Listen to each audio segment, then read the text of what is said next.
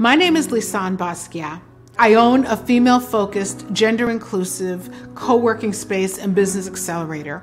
And so, what that means is that I help entrepreneurs to build, grow, scale their business while also addressing the personal development that they need in order to be strong and effective leaders of the companies that they've founded. I went into corporate uh, and I went, I worked within financial services and I worked on organizational change management projects and business transformation projects, which basically involve seeing some, taking something that is a little messy and a little uh, complex and complicated in its system and helping a group of people to understand what it was, a, group of business leaders to understand where they actually wanted to go, and then helping to ensure that we got rid of the things that were in the way, clean things up, and that we um, uh, made whatever, uh, whatever changes we needed to make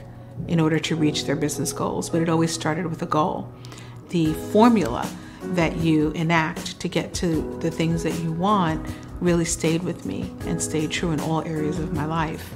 In 2000, by 2008, I had built a career. I was a corporate executive, and I've always been a very creative person. I've always been a very spiritually connected. And so I kind of wore those two hats in parallel for a while, where I would, you know, do the corporate thing and work in financial services and be in that guy environment of like you know do better do better than the next person get the next thing accomplishment accomplishment uh, and there was a duality to it because on the other side i was also very deeply spiritually connected and i also understood that we are human beings that step into these roles and play them out. I had this moment. I was talking to a couple of people on an instant chat, also involved in a, a meeting that was happening on like, you know, some video conference thing.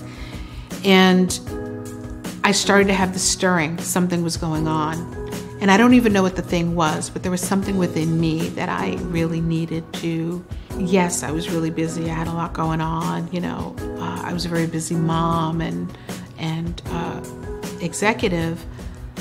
But in all of that busyness, had a friend called me to ask for something or to tell me that she or he was on a cliff, I would have dropped everything or I would have found a way to respond to that person.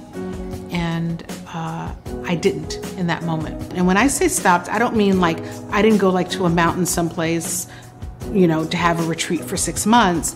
I was expending this life energy that I have.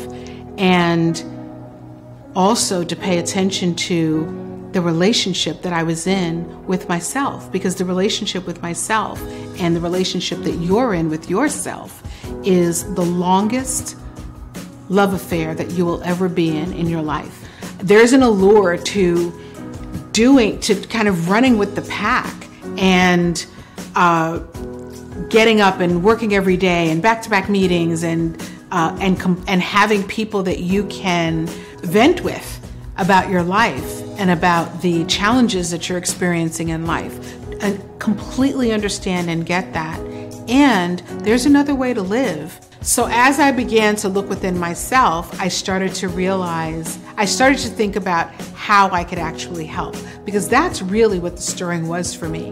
It was clean up your own stuff so that you can truly live your purpose. The emotional legacy that we are relieving, bequesting to the children that we have and the families that we're part of.